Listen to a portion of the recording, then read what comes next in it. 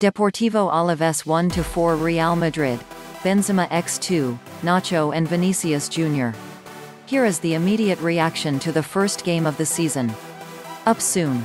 Player ratings, press conference highlights and the post-game podcast.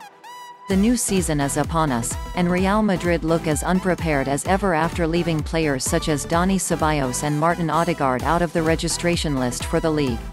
Although this could quickly change, rumors about the latter player have been flying around the internet linking him with a move back to Arsenal. This exclusion has only further encouraged these rumors and means that neither player would be available for the season opener.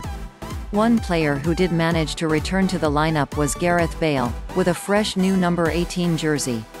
He was joined by debutant David Alaba in a strong yet predictable lineup. Three Castilla players made the bench for the first competitive game, with Toni Fuidias looking to have secured that vacant third goalkeeper spot in the squad. The lack of recruitment over the summer coupled with dubious departures has created a bleak tone by the fans regarding the upcoming season. Many feel like this is a squad unable to compete for any serious silverware, however the team looked sharp in possession during the first half, despite the loss of key leaders within the team in recent times.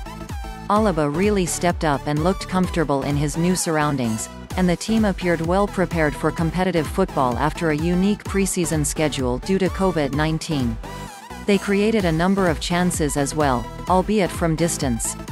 Eden Hazard, Gareth Bale, Karim Benzema and Luka Modric all came close from the edge of the box after some positive sequences.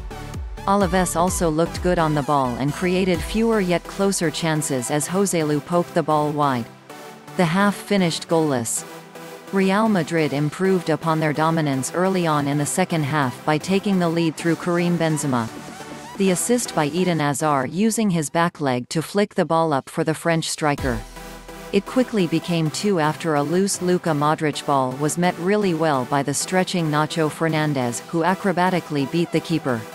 Benzema was soon in action again after Fede Valverde carved his way through Alaves before finding Karim who after a few bobbles managed to sneak the ball into the net for three. Before I could finish applauding, the hosts were handed a lifeline. Eder Militao played a poor back pass, forcing Thibaut Courtois to chop down the oncoming John Guidetti.